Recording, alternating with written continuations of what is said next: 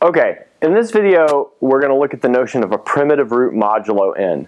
So um, building up towards that definition, we have the following. So the order of an element a modulo n is the smallest number m where a to the m is congruent to 1 mod n.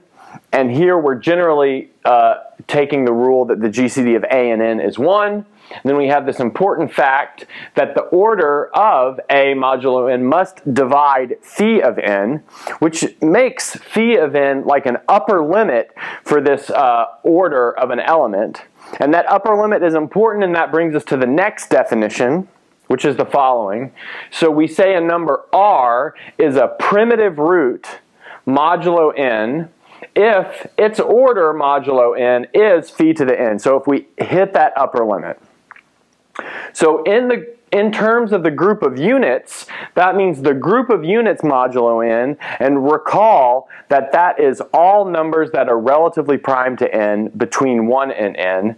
So every number in this group of units can be written as a power of r. So we have 1, which is r to the 0, r, r squared, up to r to the phi of n minus 1. We don't need to include r to the phi of n because that itself is 1. So let's look at some examples of finding primitive roots. So uh, let's first look at n equals 13. Um, so we want to first look at a phi of 13 which equals 13 minus 1, which is 12, because 13 is prime. And so that tells us that the possible orders of elements are 1, 2, 3, 6, sorry, 1, 2, 3, 4, 6, and 12. So, and that's because we know the possible orders must divide 12, and these are all the divisors of 12. So now what we want to do is pick a number between 1 and 13 and check all of these exponents until we get an exponent that brings us back to 1. Okay, so 1 will obviously not work because 1 to the 1 is 1. The order of 1 is 1. So we'll start with 2. So 2 to the 1 is equal to 2. 2 squared is equal to 4. 2 cubed is equal to 8. 2 to the fourth is equal to 16, which is equal to 3, because we're working mod 13. Now, 2 to the sixth. So now I'll use what's uh, in the back of my list to help me here. So 2 to the sixth is 2 to the fourth times 2 squared, which is 3 times 4, which is 12, which is negative 1. So now what we notice here is nowhere on this list is 1. So that means the order of 2 cannot be 1, 2, 3, 4, 6. So that means the order has to be 12.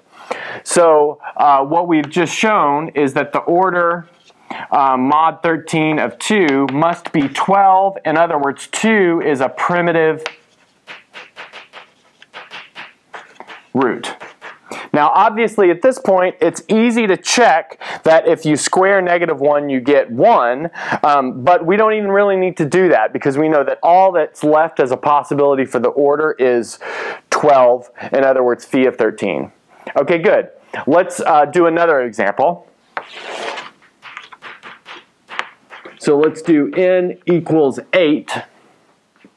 And so we need to calculate phi of 8.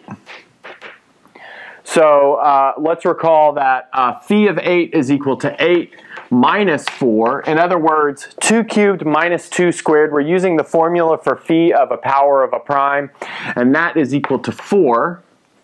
Great, so that tells us the possible orders are 1, uh, 2, and 4 because they have to be uh, divisors of 4. And then also the possible primitive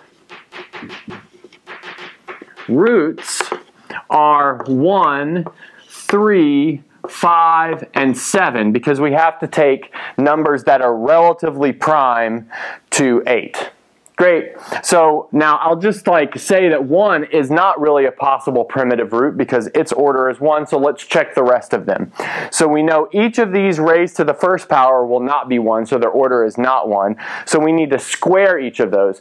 We will not need to take their fourth power because squaring them will give us all the information. If squaring them gives us 1 mod 8, then we know it's not a primitive root. If it does not give us 1 mod 8, then all that's left left is their order to be 4. So let's look. 3 squared is 9, but notice 9 is 1 more than 8, so that is 1 mod 8. Okay, so 5 squared is 25, so that's 1 more than 24, so that's also 1. And then 7 squared is 49, so that is 1 more than 48, which is also 1 mod 8. So that tells us that the order of all of these is equal to 2, but those were all the possible primitive roots, so that tells us that we have no primitive roots.